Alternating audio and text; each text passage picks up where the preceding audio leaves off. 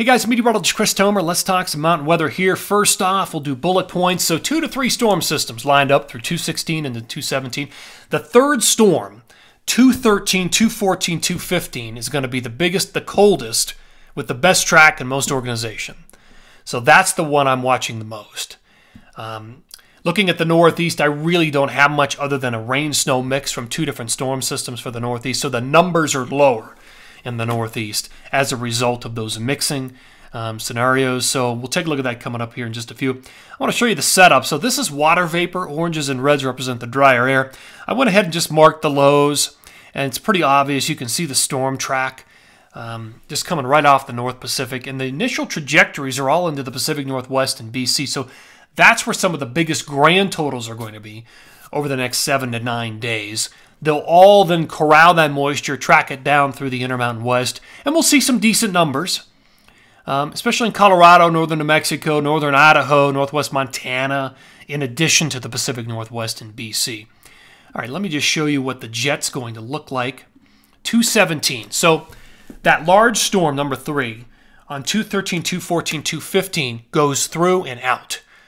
It's out of there by late 215. So then there's some internal ridging that happens across the Intermountain West. Another trough there, already hitting the west coast on 217.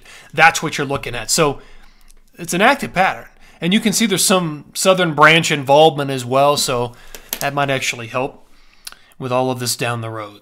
All right, let me just show you what the timing of this is going to look like.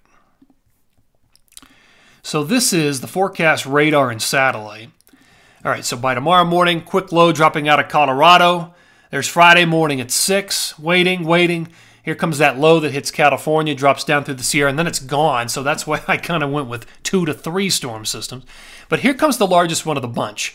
On 13, 213, it's moving into the Pacific Northwest, hitting BC and, and starting to move into Idaho, northwest Montana. By 214, 215, it's tracking through the Tetons. It's tracking through the Wasatch into Colorado and northern New Mexico. That's the one that has the most cold air with it. So there you go. Also, I did do a blog post today, christomer.com. Take a look at that. There's some timing in there if you want to look at when I think the key time frames are for snow in the Tetons, Wasatch, and in Colorado.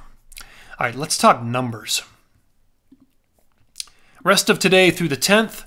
Some of that snow sliding through Colorado tonight, one to four inches, nothing big, just enough to freshen things up. And then we already start to see some snow hitting the Pacific Northwest and BC up to a foot in those areas by the end of 210. All right, here's the second period. So this is 211 through 217, another 1 to 2 feet in the Pacific Northwest, BC, Timberline down to Bachelor. So I'm looking at 3 feet potentially for Whistler and Baker. A little bit less than Stevens. Obviously less for Timberline and Bachelor as a, and I'll show you my specialty map for them coming up here in a sec. A little bit of snow for California, nothing big little bit of snow in the Tetons and the uh, the Wasatch, nothing huge. Some nice snow in Big Sky. Colorado. All right, so the storm that comes through on 214, 215 is where we see most of this snow um, in Colorado. And it could be big, depending on the southern track nature. We could be looking at some pretty big totals through the San Juans, southern Colorado, and even northern New Mexico. So we'll keep an eye on that track. That final storm is the coldest and the biggest 213, 214, 215.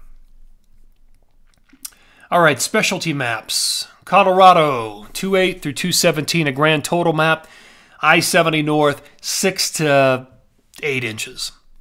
Um, of course, bigger numbers in the San Juan, southern Colorado, over a foot in some places, uh, as I was showing you just a second ago. Go back to that. You can see those numbers. So we could be looking at more than what we're seeing here in the southern mountains of Colorado.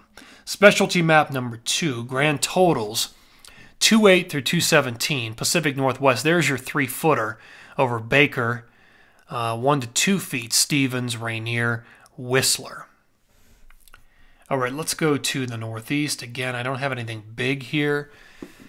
One to six inches will probably do it. Um, Unfortunately, the two storms I'm tracking will probably be a rain snow mix for the Northeast, cutting down on accumulations.